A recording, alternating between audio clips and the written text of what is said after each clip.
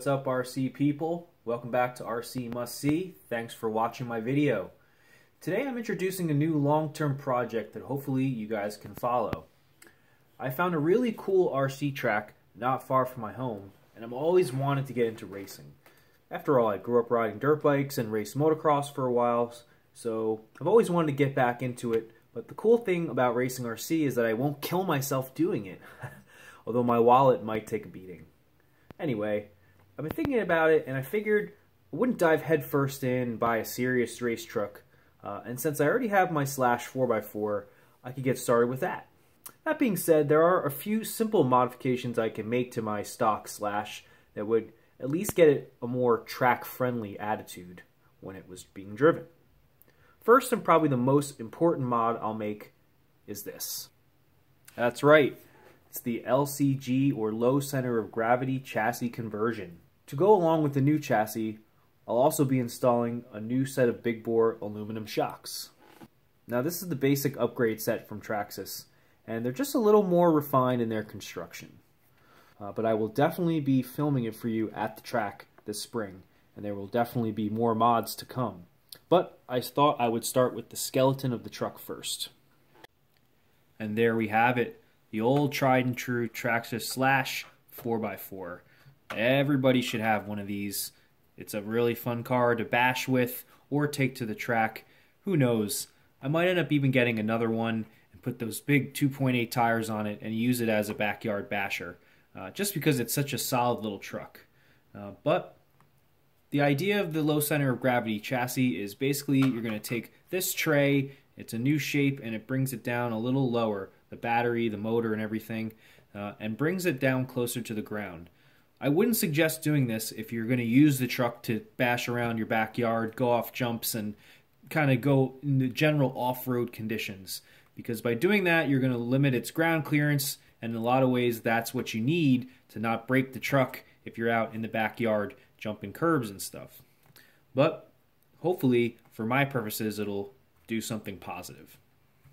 there you have it, guys. All the components to convert your stock slash Looking at the new chassis here, guys, you can see it has a pretty extreme kind of downward slope. And look how they use this honeycomb shape to add strength to that area of the truck. And they even have it along the line here too.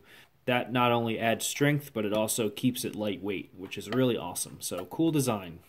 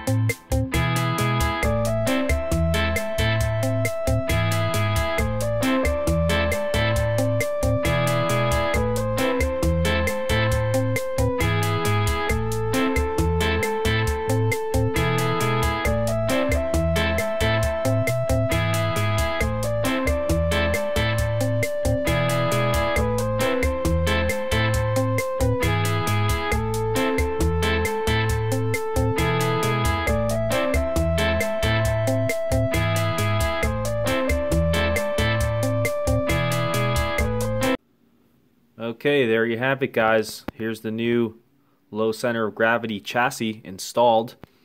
Um, I would say, all in all, the whole kit took me around three hours to put on, and that was definitely extended because Uh, the front end definitely gave me some problems. The back end, installing the new bulkhead and everything, even mounting up the motor, was pretty easy. But with the front, you have to make sure that you get the servo horn in the right position, or else the steering will be completely crooked on the truck.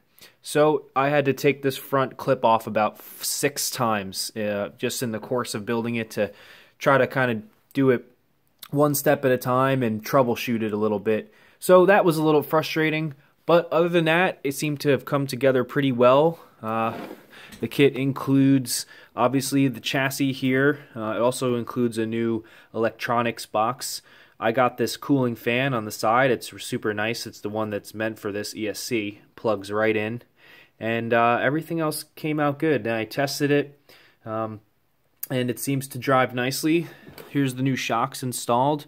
Really nice. I've kind of changed the positions that I have it mounted at. That's all going to come down to tuning at the track, but I did give the car a little bit more of a lower stance and a more progressive rate so that uh, it's a little stiffer in the turns. Uh, but I'll end up playing with all those settings at the track, right? That's the fun. Um, so that's it, guys. Came out pretty well. Unfortunately, I couldn't install the rear guards for the shock towers because they are not meant for the LCG chassis. I think it's a simple fix. I just have to modify them a little bit and cut uh, a little piece off of here and this should clear the body. Um, so that's it guys. If you have any questions, please comment below. Uh, we'll definitely get some runtime out of this and see how it performs with the new chassis.